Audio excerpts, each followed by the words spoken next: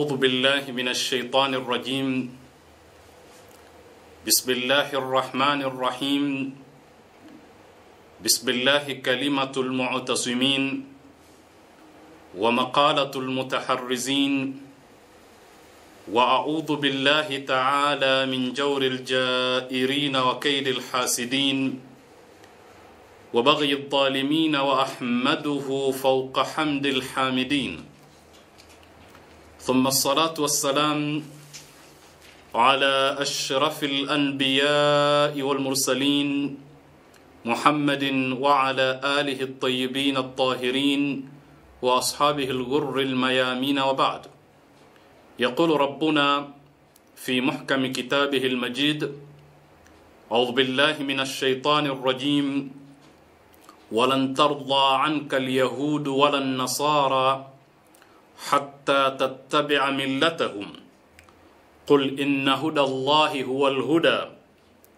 ولئن اتبعت أهواءهم بعد الذي جاءك من العلم ما لك من الله من ولي ولا نصير. وقال عز من قائل في محكم كتابه المجيد ثم قست قلوبكم من بعد ذلك فهي كالحجارة. أو أشد قسوة. وإن من الحجارة لما يتفجر منه الأنهار وإن منها لما يشقق فيخرج منه الماء وإن منها لما يهبط من خشية الله. وما الله بغافل عما تعملون. صدق الله العلي العظيم. wassalamu alaikum warahmatullahi wabarakatuh kwanza tunamshukuru mwenyezi mungu subhanahu wa taala. Vile vile na kumtakia rehma na amani bwana wetu mtukufu bwana mtume sallallahu alayhi wa alihi wasallam moja katika mambo ambayo yameushughulisha sana ulimwengu wa leo hasa katika miaka ya karibuni ni suala zima la ugaidi. Mijadala imekuwa mingi sana katika kujadili swala hili, na kwa ujumla watu wametofautiana katika kueleza dhana nzima ya ugaidi, kisha baada ya hapo kumtambua gaidi ni nani,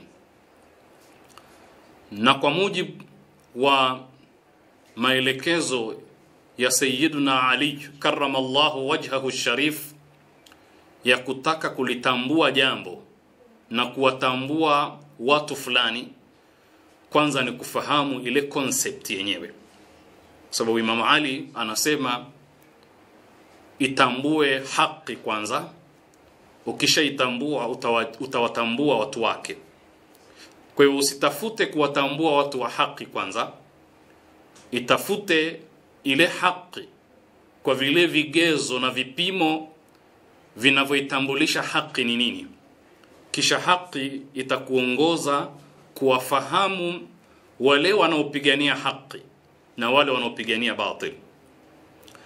Sasa tatizo letu ni kwamba tunapotaka kufahamu magaidi ni nani, hatuangalii kwanza nini maana ya, ya ugaidi.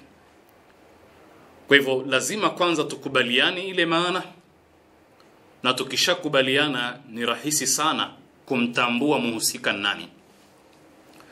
Na kama watu hawajakubaliana katika ile maana, basi katika kuainisha hao magaidi nkina nani, swala lile litakuwa zito. Kwa hivyo utaona kwamba wapigania uhuru na haki za binadamu walifaa kuitwa na baadhi ya jamii katika nchi zao kuwa ni magaidi kwa sababu tu ya ile dhana kuwa haija haijawa na ittifaqul jamii, makubaliano ya, ya wote kwamba ina maana gani. Lengo letu sisi ni kutaka kuutambulisha Uyahudi na si kila Uyahudi, bali Uyahudi ambao unaamini juu ya uzayuni Zionism, kwamba huyu ndio threat ndio gaidi mkubwa wa ulimwengu, si wa leo tu, bali wa miaka yote tangu awepo katika uso wa ardhi. Hili ndio, ndio lengo la kutaka kuzungumza haya, lakini hatutaki kuingia katika makosa ambayo yanaendelea kuwepo baina ya jamii za binadamu wanapojadiliana juu ya mambo mbalimbali. Tunajadiliana juu ya demokrasia wakati ambapo hatujakubaliana kwamba demokrasia maana yake ni nini. Tunajadiliana hasa katika vikao mbalimbali vikiwemo vya Umoja wa Mataifa juu ya maendeleo, maendeleo ya watu. Utaona katika malengo ya millennium maendeleo ndio yaliokuwa yakijadiliwa kwa kiasi kikubwa. Utaona hata katika masala ya sustainable development leo hii mjadala wa kimataifa uko katika kujadili kuhusu maendeleo endelevu, lakini utaona kwamba ile dhana ya maendeleo vile vile si dhana sahihi.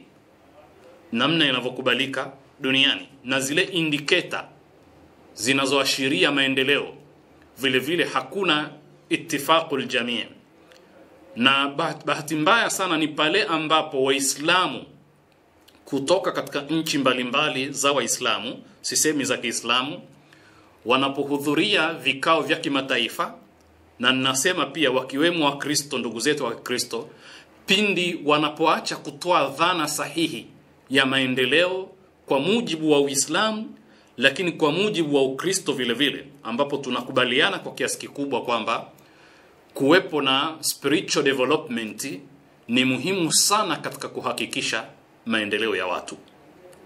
Kwa hivyo utaona kwamba tuna ikhtilafu kubwa sana katika hizi concept. Kuna misconception, zile mafhumu ambazo ni mughalata, sio za wazi, na mara nyingi wale wenye malengo yao ya kuchafua dunia hii wanapenda ile dhana sahihi isifahamike, kwa sababu ikifahamika itakuwa ni kitanzi cha kuwabana wale ambao wanataka kupitia dhana hizo kuweza kupotosha ulimwengu au kufikia malengo yao. Kwa hivyo dhana ya equality, usawa, utaona namna inavyotumika, freedom, uhuru, namna inavyotumika vibaya, dhana ya demokrasia, namna inavyotumika vibaya, dhana ya haki za binadamu, namna inavyotumika vibaya, na dhana ya free movement uhuru wa kutembea kwenda huku na kule, dhana ya globalization, utandawazi na dhana mbalimbali mbali ambazo zinabeba slogan, kauli mbiu za ulimwengu wa leo, namna ambavyo zinatumika kwa ajili ya kuwafikia kuwafikisha watu wa ulimwengu unaoitwa kuwa umeendelea, nchi za imperialism, yani imperialistic countries, kufikia malengo yao. Haya tutayaona tutayaona. Sasa hatutaki kuingia katika kosa ambalo limeendelea kuwepo la kwamba tunataka kumwainisha gaidi kabla hatujaainisha dhana ya ugaidi, lakini leo hii nitachelewesha kidogo katika kuielezea hii dhana yenyewe ya ugaidi, lakini nachotaka tu ni kujaribu kuonesha kwamba mazayuni au Zionist ndiyo threat ndiyo tishio la amani ya dunia. Kwa lugha nyingine, ndiyo gaidi mkubwa, na tunachotakiwa kukiona ni kwamba mazionist sio hatari kwa Waislamu tu, bali ni hatari kwa Waislamu wote, ni hatari kwa Wakristo wote, ni hatari kwa wasiokuwa na dini vile vile. Kwa lugha nyingine ni hatari kwa binadamu. Binadamu wote wanaishi katika hatari hiyo ya kwao, namna walivyodhuru Ukristo, namna walivyodhuru Uislamu, namna walivyoingia katika ideology mbalimbali na mitazamo mbalimbali ya maisha kama vile ubepari, wanahusika kwa kiasi gani katika kustawisha dhana ya kibepari, na hasa dhana hii pindi ilipobebwa sana na fikra za kula riba, kuchukua riba kama mhimili wa kujenga uchumi wa watu, kwa sababu bila riba tuta, maanake pakiwa hakuna riba, mhimili na mgongo wa ubepari utakuwa umevunjika, hauwezi tena ubepari kusimama, na namna Qur'ani ilivyowasifu vile vile katika hilo. Lakini vile vile kuona namna ambavyo ukomunisti ulikuwa na mchango mkubwa sana wa uzayuni na ile Bolshevik revolution ya Urusi mwaka 1917 namna ambavyo ilikuwa na mikono ya Kiyahudi kizayuni. Vile vile haraka ya kiilmi, haraka ya thakafa, masala ya elimu kwa ujumla, na elimu ambayo inatumika leo hii katika mashule yetu kuanzia kiwango cha chini mpaka katika viwango vya juu vya elimu, namna ya haraka ya kiilmu na ya thakafa ilivyoathirika kwa mtazamo wa kizayonisti au mtazamo wa kiyahudi wa kizayuni. Kwa hivyo tutamwona Karl Marx Yahudi huyu ana mchango gani katika kuleta uharibifu wa sampuli hiyo, lakini na wengine kama mwanasaikolojia Sigmund Freud ambaye alikuwa anaeneza sana fikra za masala ya kijinsia katika maisha ya binadamu na kuonesha kwamba ni swala la msingi sana linaloendesha behavior za binadamu kuliko swala jingine lolote, lina ushawishi mkubwa kuliko mengine. Kwa hivyo utaona hata elimu namna ilivyofanywa, kwa sababu tukizungumza ugaidi kama tutakavyoona, lazima tuuone ugaidi katika kuathiri sio tu mwili wa binadamu, uhai wa binadamu, maisha ya binadamu, lakini kuathiri usalama wa akili yake na fikra zake. Huu ni ugaidi, ni aina ya ugaidi. Kwa hivyo ugaidi si lazima kumuua binadamu ukamkata kichwa chake ukamripua uka kwa mabomu, lakini kuna ugaidi mkubwa zaidi wa kuharibu bongo na akili ya binadamu ikawa na mtazamo usiokuwa na utu, usiokuwa na ubinadamu, ukawa ni mtazamo wa kikatili zaidi. Hiyo vile vile ni moja katika aina za ugaidi, bali ni ugaidi mkubwa sana. Haya ni maeneo muhimu sana kutizama katika hilo. Kama tulivyosema, lazima tuipate kwa undani hii dhana ya, ya ugaidi, lakini ili kumshawishi msikilizaji wetu na mtazamaji wetu aelewe ukubwa wa swala hili, kwa sababu tukizungumza uzayuni tunazungumza kuhusu nationalist na political movement, tunazungumza harakati za kitaifa na za kisiasa za Mayahudi kuestablish taifa lao. Kwa hivyo uzayuni ni utaifa wa Kiyahudi, na si kila Yahudi ni mzayuni, bali kila zayuni ni, ni, ni Yahudi, kwa maana ya kwamba anasimamia kuhakikisha kuona kwamba taifa linalopigania haki za Mayahudi, bali sio haki tu, ubora wa Mayahudi dhidi ya binadamu wengine linawepo katika ardhi hii ya dunia, na Mayahudi wanakuwa ndio watawala wa ulimwengu huu katika siasa yao, katika uchumi wao, katika utamaduni wao na katika maisha ya kijamii kwa ujumla, ikiwemo elimu na nyanja zote au medani zote za maisha ya kibinadamu. Kwa hivyo tatizo kubwa la Palestina na Israel ni kwa sababu ya mentality ya kizayonism, huu uzayoni. Na kubwa tunalotaka kuelewa hapa ni kwamba Ulaya si kwamba haifahamu, na kinachojiri ni kwamba kuwepo kwa Mayahudi ambao ni mazionist wa Zayuni katika ardhi ya Palestina ambayo pia wao wana historia na ardhi hiyo, walikwepo kwa idadi ndogo fulani, lakini pakawepo na kampeni za kuongeza, kuongeza idadi yao na kuokopai maeneo zaidi ili waweze kupanuka na kuitawala ile ardhi, lakini haitoishia tu katika eneo lile, kwa sababu zamani walikuwa na ardhi ya Jordan, wana maeneo ya miinuko ya Jolan ya, ya, ya Syria ambayo mpaka leo hii haina usalama. kuna maeneo ya Lebanon vile vile bado katika mashamba ya shaba wanaamini kwamba ni eneo lao. Ilikuwa vile vile Misri, na si kwamba wameridhika kuachia baadhi ya maeneo hayo, lakini hali halisi imewafanya wapumue kwanza, kuongeza nguvu zao, kuhakikisha kwamba watatawala na kuenea eneo kubwa zaidi kuliko hilo ambalo wanalikalia.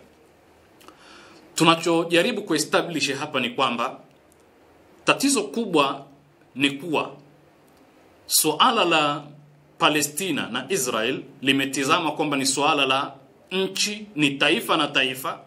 Wapalestina wanataka kutangaza taifa lao na Mayahudi vile vile wanatangaza taifa lao, na ndio utaona mbio za viongozi wa PLO hasa katika mabaraza mbalimbali ya Umoja wa Mataifa, katika vikao mbalimbali vya Umoja wa Mataifa kupigania kutangaza taifa lao rasmi, na namna ambavyo Israel ilivyokuwa ikipigania kusimamisha hiyo movement ya kutangaza taifa la Palestina.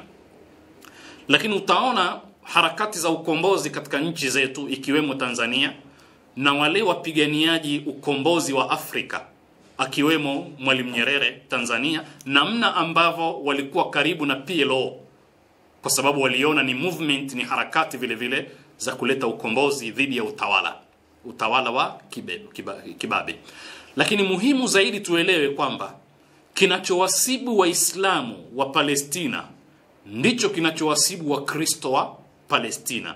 Wote wako katika kapu moja na wako katika safu moja kupigania haki zao, jambo ambalo halifahamiki hasa kwa ndugu zetu wa Kikristo. Kwa hivyo suala la Israel na Palestina sio suala la Waarabu wa ardhi ile na wa Mayahudi, wala si suala la Waislamu peke yao na mabwana wale, bali kwa mtu anayefahamu na anayefuatilia taarifa mbalimbali za habari na anayesoma maelezo mbalimbali kuhusu mapambano hayo, atagundua kwamba viongozi wa kanisa na viongozi wa misikiti, yani mashehe na maimamu, wako katika safu moja kupigana dhidi ya Israeli iliyowapokonya ardhi zao. Kwa hivyo wote wako sawa, na tunaona Waarabu wa Kristo vile vile namna ambavyo wanapambana na Israel kuhakikisha kwamba wanapewa ardhi yao. Kwa hivyo hili ni tatizo la, la kimataifa, na utaona katika mazungumzo yetu kwamba Marekani ina tatizo kubwa, na tatizo kubwa la Marekani ni Uyahudi, Uzayoni. Ndiyo unaoifanya iwe na behavior zile, awe ndio mbabe wa dunia, awe na tabia ya kutaka kupokonya mali za ulimwengu, kwa sababu ya ile mentality aklia ya Kiyahudi ya Kizayuni iliyomo katika siasa ya Marekani, kwa sababu wana nafasi kubwa sana katika kuendesha siasa ile, bali kuteuliwa kwa kiongozi wa taifa hilo katika uchumi wao na makampuni makubwa makubwa kina Coca-Cola na mengine wameshikilia ule uchumi katika mabaraza makubwa makubwa ya ku make decision, kutoa maamuzi juu ya mustakbal na mwenendo wa Marekani. Wana nafasi kubwa sana, wana power katika ku make decision. Lakini kubwa kuliko yote nalo ni muhimu sana, kama anavyoelezea Noam Chomsky katika kitabu chake Survival Hegemon or Survival, na huyu Noam Chomsky ni Yahudi lakini bwana huyu ana insaf, ni tofauti na wengine. Ni, ni mtu wa ling, linguistic, ni mwanasiasa, ni msomi mzuri, ni profesa, na mambo yake katika lugha yanafundishwa yana katika vyuo vikuu kwa wale wanaosoma linguistic. Lakini anazungumza kubwa zaidi kuliko hayo, ile power ya media, nguvu za vyombo vya habari katika kueneza fikra za kizayuni na kuweza kutawala dunia hii. Vyombo vingi vya habari vya Marekani na vya ulimwengu kwa ujumla vimeshikiliwa na mabwana hawa, na utaona mpaka zile local media zetu katika nchi zetu namna zilivyokuwa tegemezi katika kupata taarifa za habari za kimataifa kupitia vyombo vikubwa vya kimataifa vya habari, habari ambazo zimechujwa na zimetengenezwa katika namna fulani yenye malengo ya kufikisha ulimwengu mahala fulani kimtazamo, na hiyo ndo the battle of mind, vita vya kifikra vya kiakili vya ubongo, ambavyo ndio vita vikubwa zaidi kuchange mindset ya watu iwe na mrengo na mwelekeo wenye malengo ya kizayuni. Kwa hivyo utaona Marekani miaka mingi ina safa inapambana na uzayuni, haiwezi, imekoloniwa na fikra hizi na haijaweza kujinasua. Kama tulivyosema, alhajmatu athaqafia walilmia, uvamizi wa kifikra wa kitamaduni wa kiilmu ulivyofanywa na hawa mabwana katika kuhakikisha kwamba namna ya kufikiria walimwengu iwe na maslahi na, na watu hawa. Haya si mambo ambayo yana exaggeration, bali ni mambo yenye uhalisia. Sasa kinachofanyika au kilichofanyika Palestina na hasa baada ya vita kuu ya pili kutia nguvu na Ulaya ikatia nguvu kuhakikisha kwamba akiwemo hasa Mwingereza kuhakikisha kwamba Mayahudi wanakuwa na dola yao katika Middle East, Mashariki ya Kati. Mchango mkubwa sana wa nchi za Ulaya, na Marekani inatoa mamilioni ya dola kila mwaka kuwapa Mayahudi, kuipa taifa, kulipa taifa la Israel na kuhakikisha kwamba linaweza kuendeleza silaha zake na kukua kijeshi zaidi ili waweze kuthibitisha nyayo zao na kuwa madhubuti zaidi katika ardhi ile wasiondoke. Sasa ishu si kwamba Ulaya inaipenda sana Israeli au inapigania haki za Israeli, na utaona media ilivyotangaza suala la Holocaust katika vita kuu ya pili, Ujerumani, Hitler kwamba aliua zaidi ya milioni sita Mayahudi, na hili likaweza kutangazwa katika sura ya kutafuta huruma ya walimwengu, lakini huzuni ile ilikuzwa, ilitiwa chumvi, balaa lile lilitiwa nguvu, japokuwa ni kweli waliuawa, ili kujaribu kununua huruma ya ulimwengu na kujustify mambo kadha wa kadha yanayofanywa kwa maslahi ya Mayahudi. Sasa anachotaka kusema ni kwamba ardhi ile ya Palestina imefanywa ni dampo la kutupa ile kansa ya dunia, kwa sababu Ulaya imepata matatizo makubwa sana kupitia watu hawa, kwa sababu wanapokuwa katika nchi wanakuwa ni wazalendo wa lile taifa wanalolipigania. Na wala si wazalendo wa ile nchi wanaoishi. Kwa hivyo walikuwa wakifanya khiana katika nchi za Ulaya, wakaonekana ni hatari kwa mataifa ya Ulaya, na ilipotokea hiyo option ya kupelekwa mahala kuanzisha taifa lao, Ulaya ilijitolea kuhakikisha wanahama, kwa sababu ilikuwa ni salama zaidi kwa Ulaya kuliko kuishi nao. Japokuwa hawajahama wakatoweka, bado wana ushawishi mkubwa sana katika nchi hizo. Vitabu vinaonyesha kwamba mwaka 1290 AD 1290 1290 Uingereza iliwafukuza Mayahudi. Kwa nini iliwafukuza? Kwa sababu ya uzayuni, kwa sababu ya dhana ya uzalendo na utaifa wa Kiyahudi. Hawakuwa na uzalendo kwa nchi ya Uingereza, walikuwa ni hatari kwa Uingereza. Uingereza ilifukuza Mayahudi wote katika ardhi yake. Lakini Ufaransa vile vile mwaka 1306 yani 1306 iliwafukuza, na sababu ya kuwafukuza vile vile, japokuwa Ufaransa ni katika nchi za kwanza zilizoonekana kuanza kupigania masala ya haki za kiraia na, na mambo sampuli hiyo, haki za binadamu, kabla hata ya ilani ya Umoja wa Mataifa ya kupigania haki za binadamu ya mwaka 1948 baada ya vita kuu ya pili. Kwa hivyo mwaka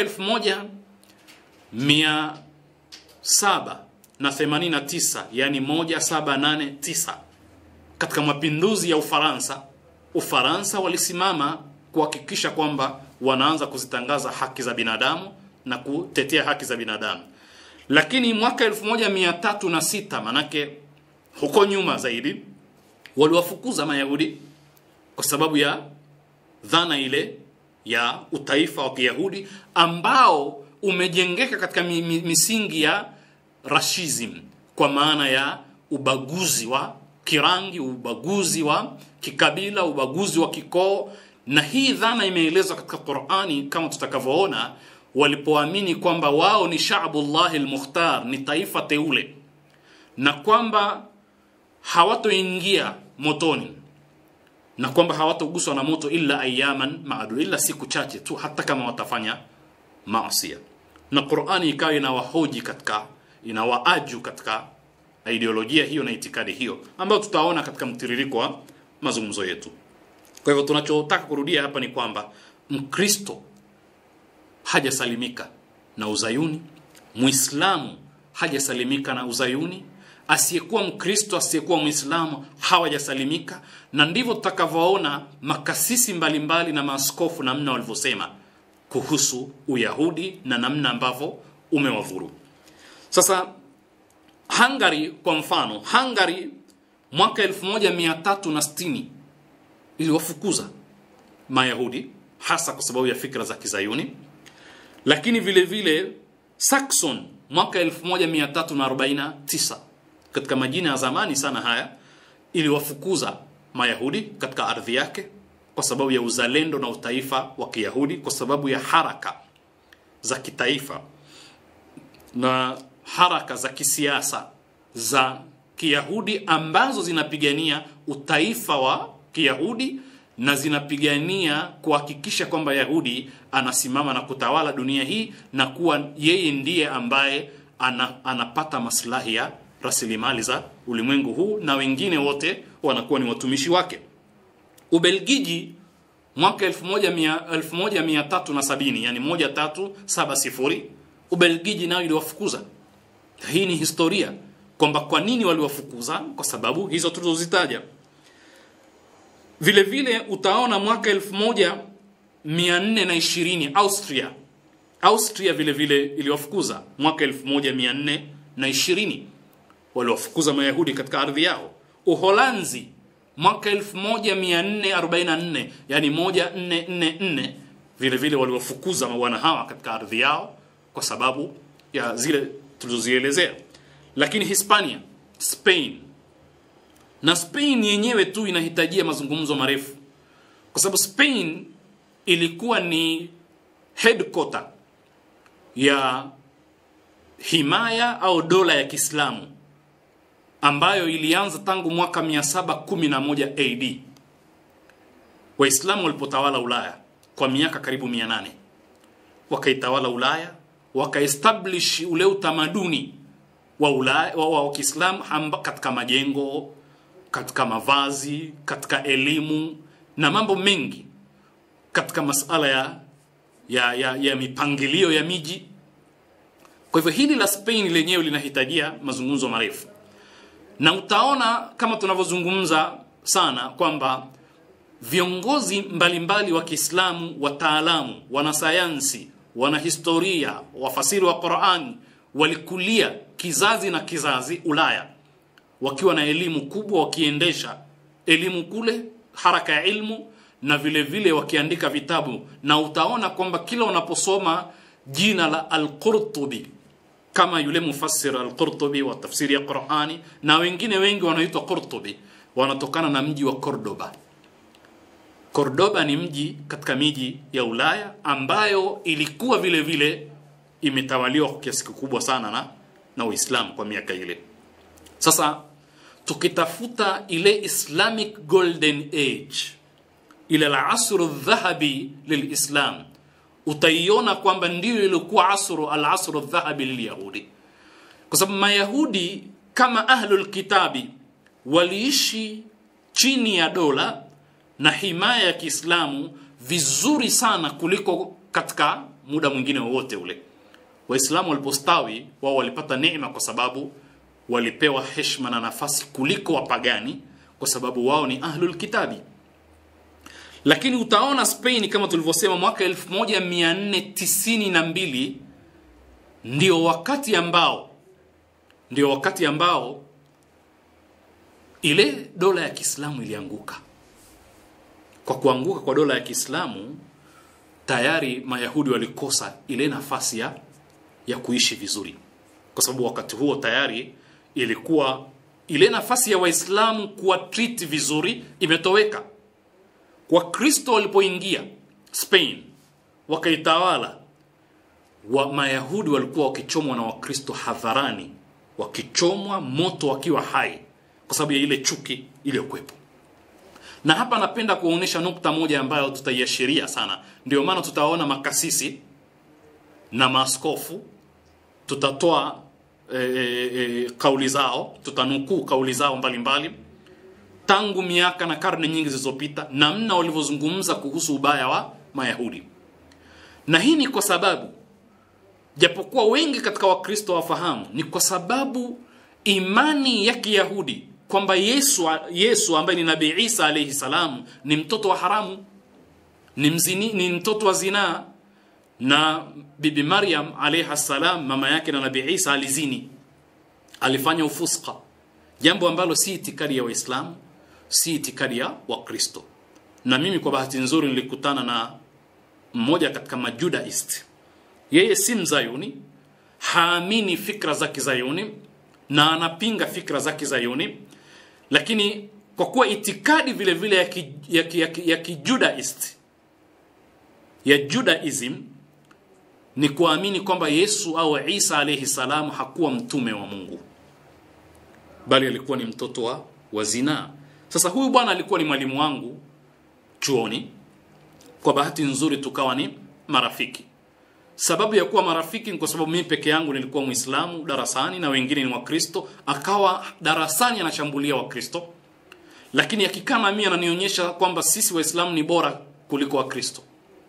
Wakati fulani nilipokaa naye ofisini kwake kwa sababu nikipeleka yeye alikuwa ni mwalimu wa sheria nikipeleka mambo mikataba mbalimbali mbali ya mambo ya biashara kwa maana ya kwamba yeye kama mwanasheria nisaidie alikuwa akinieleza mambo mengi. Moja katika mambo ambayo nilishangaa japokuwa ninafahamu hilo lakini kule kusikia katika kinywa chake moja kwa moja kuniambia nabii isa alayhi salam au yesu ni mtoto wa haramu. Na maryam alayha salam alizini. Na yale ambayo tunayasoma katika vitabu kwamba kuna yusufu najari seremala aliokuwa akiitwa yusufu aliokuwa mchumba wake ndiye aliyemtia mimba. Na vile vile akawa ananiambia bwana huyu alikuwa mchawi. Alikuwa na amesomea mambo hayo ya kichawi akizuga kizuga ya watu na nini watu wakamtukuza. Sasa utaona itikadi hii. Na kwa upande mwingine namna ambavyo ndugu zetu wa kinaswara wanavyowatukuza wao. Na kusema ni taifa teule ili hali wakristo wa pale israel na palestina wanasafa wanapata matatizo kutokana na hawa. Sasa za viongozi wa kanisa tutaziona kuhusu swala hili kwa hivyo walikuwa wakichomwa hadharani kwa sababu tu ya ile itikadi yao. Kuna nchi kama ureno naye iliwafukuza hawa mabwana mwaka 1498 waliwafukuza katika ardhi yao kwa sababu zile ambazo tumezieleza kwa sababu ya ile dhana ya utaifa wa kiyahudi na kutokuwa wazalendo kutishia taifa lile. Maslahi na mustakbal na amani ya lile taifa kuwa limetishiwa. Urusi na hii ni miaka ya nyuma kwa mfano mwaka 1510 urusi iliwafukuza 510 1510 ni karne ya 16 hiyo ni zamani. Urusi iliwafukuza. Lakini la ajabu ni kwamba walirudi katika sura ya ukomunist. Kitu ambacho tutakionyesha katika mazungumzo yetu. Walirudi katika sura ya ukomunist katika ile bolshevik eh, revolution yale mapinduzi ya mwaka 1917 na tutaona lenin katika viongozi wa mapinduzi yale kina stalin na wengine namna walivyoestablish fikra za kikomunisti na ikawa sote tunafahamu katika mapinduzi yale baada ya mapinduzi yale zaidi takriban ya miaka sabini kanisa lilikuwa liruhusiwi kuwepo urusi wala msikiti. Haparuhusi kujenga kanisa wala msikiti. Hairuhusiwi wakristo kufanya ibada wala waislamu kufanya ibada kama ni takia basi wote walifanya takia wakawa wanajificha katika kufanya ibada zao kwa sababu ya hatari ya dola. Serikali ya wakati ule iliyosimamiwa na mazionist namna ambavyo ilivyokuwa ikipinga fikra ya kidini. Tutaona msingi wa watu hawa ni materialism. Na ndio sababu wakakemewa katika qurani. Na hili tutaanza nalo katika mazungumzo yetu yajayo katika aya tulizozisoma kwa maana ya kwamba materialism ulahidi ndio chanzo cha matatizo yote haya na wao ndio wenye kubeba fikra hiyo. Kwa hiyo tutamuona lenin namna ambavyo alikanusha dini na namna alivyotangaza masala ya kinyume na maadili na kupinga kusimamia maadili ya binadamu na kusema kwamba al akhlaq maadili mema sio kitu cha kudumu ni kitu kinachoweza kubadilika hadaa ni sehemu katika maisha ya binadamu na ni muhimu. Na dhana ya alghaya tutubarriru alwasila. Au alwasila tutubarriru alghaya. Kwa maana ya kwamba je ends justify the means au means justify the ends. Namna walivyoamini kwamba malengo yakiwa ni mazuri basi hata kama njia za kufikia malengo ni mbaya zile njia zitakuwa ni nzuri. Kwa sababu kinachotizama ni zile results matokeo ya, ya kile unachokitaka. Na hadaa ikatumika katika kufikia malengo ya kuangusha kufanya mapinduzi na kuestablish communist country ulimwengu nchi ya kikomunisti sasa misingi yao ni hiyo. Kwa hivyo walifukuzwa mwaka 1510 urusi lakini walirudi katika sura ile ya usawa utu na uzalendo na hiyo ndio fikra ya msingi ya ujamaa na ukomunisti kwa ujumla. Usoshalisti ni hatua katika kuelekea ukomunisti. Na ukisoma fikra za Karl Marx utaona kwamba bado hatujafikia ukomunisti bali hakuna jamii ambayo imefikia ukomunisti. Kwa hivyo ile ilikuwa ni socialist country na kwa hakika ilifeli. Sasa tutaliona hilo vile vile kwa kiasi fulani. Prussia Prussia ni jina la zamani la Ujerumani. Mwaka 1510 mwaka huo huo ambao Urusi iliifukuza iliwafukuza Mayahudi. Ndio mwaka huo vile vile Prussia kabla hata ya ya ya ya ya ya, ya, ya Hitler. Katika vita kuu ya pili Prussia ilipokuwa ikijulikana kwa jina la German iliwafukuza vile vile. Kwa sababu hiyo hiyo. Sasa Ulaya yote iliwafukuza. Tizama kwa mfano Bavaria. Ikiwa ni nchi kamili sio jimbo la mathalan Wajerumani wa, wa, wa Bavaria yenyewe mwaka 1551 yani 1551 Bavaria vile vile iliwafukuza. Na hii ni mifano tu nimetoa kuna nchi zaidi ya hizo. Sasa Ulaya yote imewafukuza. Imewafukuza kwa sababu ni hatari. Lakini hatari yenyewe tumeiepuka. Haipo. Waislamu wakati wa mtume sallallahu alaihi wa alihi wasallam wamepata matatizo makubwa sana kupitia watu hawa na wanaendelea na ndio maana utaona katika istilahi za Kiislamu kwenye Qur'ani na kwenye historia ya Waislamu kuna kitu kinachoitwa al-Israiliyatu. Al-Israiliyatu ni zile fikra za Kiyahudi zilizoingizwa katika Uislamu, zimepenyezwa kwa sababu tu ya kutaka kupotosha ile misingi iliyojengeka dini ya Kiislamu katika akida yao, lakini katika historia yao, na ndipo utakapoona unapopotosha historia unapotosha mustakbali wa ile jamii. Sasa Israiliyati ziko katika hadithi, ziko katika tafsiri ya Qur'ani, mambo ambayo siyo ya msingi ya Kiislamu yakaingizwa, na kama tulivyosema, Biblia katika mambo mengi yaliyoongezwa sio ya, ya, ya, ya, ya Mwenyezi Mungu Subhanahu wa Ta'ala, yaliingizwa na watu hawa. Harakati za kutaka kumuua Nabii Isa alayhi salam ambaye anajulikana kwa jina la Yesu kwa wenzetu wa Kristo zilikuwa za Mayahudi, na pamoja na ikhtilafu waliuawa au hakuuawa baina ya Waislamu wenyewe kwa wenyewe na vile vile kwa Wakristo, lakini sote tunakubaliana kwamba Mayahudi ndio waliofanya kampeni za kutaka ku, kumuua Nabii Isa alayhi salam. Mitume wengi, Yahya, Zakaria, Zakaria alichinjwa kwa msumeno, Yahya alichinjwa vile vile, wao ndio waliofanya jambo hilo. Na Qur'ani zaidi ya asilimia 30 ya Qur'ani inazungumza kuhusu watu hawa.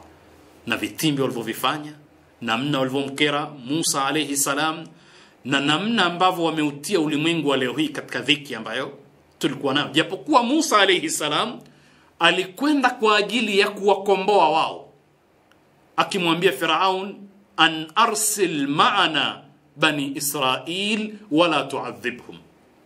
Na tuachie tuondoke sisi na bani Israil usiwaadhibu. Na ndipo tutakapofahamu bani Israil Israili ni Yaqubu alayhi salam. Kwa hivyo hawa ni wana wa Israil kwa maana wana wa Yaqub wana asli ya Yaqub alayhi salam ambaye ni mtume wa Mwenyezi Mungu Subhanahu wa Ta'ala. Kwa hivyo tutaona tutaona namna ambavyo wameweza kuchangia uharibifu katika ulimwengu wa leo na wanaendelea. Hili ni suala la msingi sana. Haya niliyoyataja na yatizama kama vile utangulizi kwa kiasi fulani, lakini aya tutakayoanza nayo katika mazungumzo yetu yajayo ni kuimurika aya inayosema thumma qasat qulubukum min ba'di dhalik fahiya kalhijarati au ashaddu qaswa, ili tuijadili katika kuwazungumza watu hawa na ile image anayotuchorea Mwenyezi Mungu kuhusu watu hawa. Kwamba wako vipi, kana kwamba Mwenyezi Mungu anatutaka walimwengu kwa kule kueka ndani ya Qur'ani aya zinazofikia karibu asilimia 30 zinazozungumza jamii hii, kwa sababu hili ni suala ambalo litakuwa ni endelevu ila yaumil qiyama, litasimamiwa na watu hawa katika kuharibu ulimwengu. Kwa hiyo tunahitajia tuna kuelewa kanuni zinazotawala maisha ya jamii na namna ambavyo wanahakikisha kupotosha zile kanuni sahihi za maisha ya kijamii kumfikisha binadamu katika dhiki na tabu.